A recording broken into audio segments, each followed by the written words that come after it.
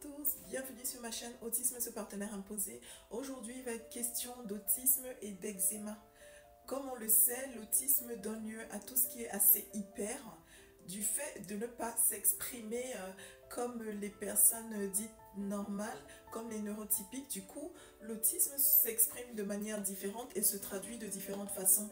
Donc on peut assister à de l'hypersensibilité, donc de, l'hypersensorialité euh, également au niveau des sensations.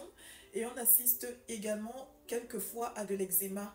17% d'autistes sont sujets à de l'eczéma et en particulier euh, les autistes de sexe féminin. Je pense que l'eczéma est une façon de s'exprimer autre que par euh, la parole.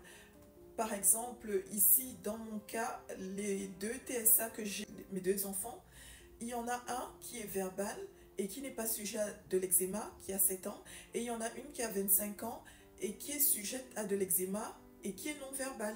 Donc, est-ce que ce serait la façon que l'autisme euh, aurait de communiquer autre que par la parole? Parce que, évidemment, quand on communique autrement que par la parole, le ressenti accumulé a besoin de sortir, les non-dits ont besoin de sortir certainement d'une façon particulière. Et chez ma fille aînée, ben, la façon de sortir que ça a choisi, c'est de l'eczéma. Elle a de l'eczéma depuis qu'elle est toute petite.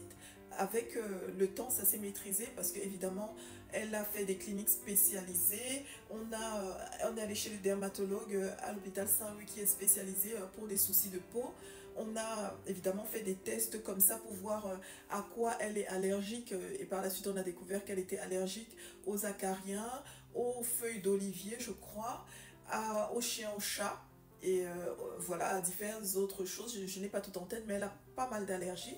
Et quand elle était petite, l'eczéma, c'était vraiment, surtout quand elle avait des, crises, des crises autistiques, elle était pas mal agitée. Donc, qu'elle avait besoin de traduire. Parce que quand il y a des crises autistiques, euh, je digresse, quand, quand il y a des crises autistiques, en fait, c'est des choses que le cerveau n'arrive pas forcément à traduire par, euh, par, par, degré euh, chronologique.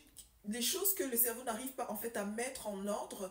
Il y a tout qui se bouscule, évidemment. Et ensuite, l'autiste, je pense, ne sait plus de quelle façon ressentir, de quelle façon traduire. C'est comme un peu un bug. C'est un bug de trop plein, c'est un bug de, trop d'émotions qu'on n'arrive pas à traduire. Et évidemment, il y a crise. Donc, oh, lors de ces crises, son eczéma était décuplé. Elle en arrivait à se gratter au sang.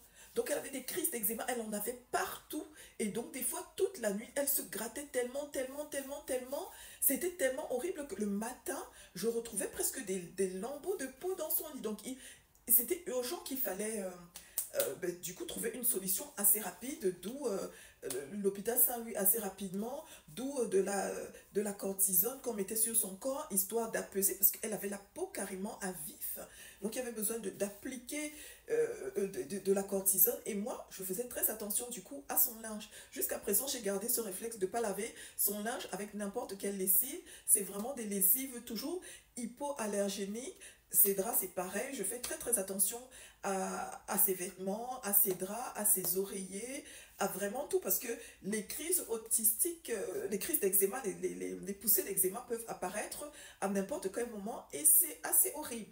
Donc maintenant, euh, en, parallèle de l'eczéma qui s'est beaucoup atténué, elle a également un peu le rythme des foins. Donc quand, quand ça va se rafraîchir, quand tout, ce qui est, tout ce qui pollen arrive, ben évidemment qu'elle renifle, elle ronflonne, elle toussonne, elle fait des bruits de nez pendant la nuit. Euh, la personne qui partage sa chambre, sa sœur, c'est pas forcément toujours évident, mais bon, la première à souffrir euh, de, de cet inconfort, c'est déjà elle-même, parce que, ben, évidemment, être obligé de renifler ou de manquer d'air ou de pas être bien parce que la saison change et qu'il y a du pollen dans l'air, ben, c'est pas normal et c'est pas évident. Donc, son otite, euh, pardon, son eczéma, parce qu'elle a aussi de, des otites, yo-yo, parasynthèse, euh, voilà. Donc, son eczéma, c'est assez bien soigné une fois qu'on a trouvé la bonne formule parce que avec euh, les analyses de, de, sa peau qui a été prélevée, analysée, ben, ils ont pu trouver une formule euh, que j'allais donner en pharmacie et une préparation comme ça était faite et je devais lui appliquer donc l'eczéma a peu à peu disparu Quand ça a réapparu, quand elle était adolescente, ben, on, a, on a refait un tour à l'hôpital. Il y a eu encore des analyses de mener et une autre crème à appliquer encore très très bien atténuée parce qu'elle avait quand même des lésions, il y avait des parties rugueuses parce que ça n'avait pas été complètement euh, guéri, ça revenait sans cesse. Euh. Donc voilà, c'est maîtrisé, mais il y a toujours des poussées. Il y a d'autres poussées, comme je voulais dire, une des foins, rhinite, allergie, euh, otite, yo-yo, parasynthèse. Ben, le corps, il s'exprime comme la verbalité ne peut, pas, ne peut pas le faire. Du coup, le corps prend le relais pour s'exprimer de façon euh, malheureusement euh, inconfortable des fois. Voilà ce que je pouvais dire euh, sur l'autisme et, et l'eczéma. Ben, évidemment, rapport personnel à cet eczéma, sujet non exhaustif, approche tout à fait personnelle par rapport à mon expérience. Certainement, vous, vous avez d'autres expériences. Certainement, il y a d'autres, comme ça, inconforts qui découlent du fait d'être TSA et du fait peut-être de ne pas pouvoir euh, s'exprimer. Est-ce que maintenant les autistes euh, verbales, est-ce que les autistes verbaux, oui, verbaux je pense, est-ce que les autistes verbaux ont ce même, euh, mêmes ont ce même inconfort, cet inconfort d'eczéma, parce que comme je vous l'ai dit, moi j'ai deux cas de TSA, et il y en a une qui a eu cet inconfort et qui est non verbal, et l'autre qui est verbal qui ne l'a pas eu. Donc est-ce que vous, vous connaissez des autistes verbaux qui, ont eu de l'eczéma quand même, parce que certainement qu'ils euh, ils ont des temps de silence, peut-être qu'ils ne sont pas verbaux de façon fluide, parce qu'on sait bien que l'autisme, il y a des moments où on a envie de s'exprimer, même si on est verbal, et puis il y a des moments où on n'a pas forcément envie de, de s'exprimer, d'où vraiment l'autisme, le fait de vouloir euh, se retrouver euh, un peu dans, dans, dans ce qui est connu, dans ce qui nous appartient.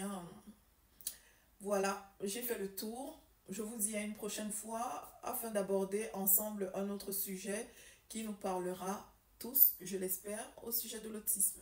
C'était Tatiana pour Autisme, ce partenaire imposé. Bonjour chez vous.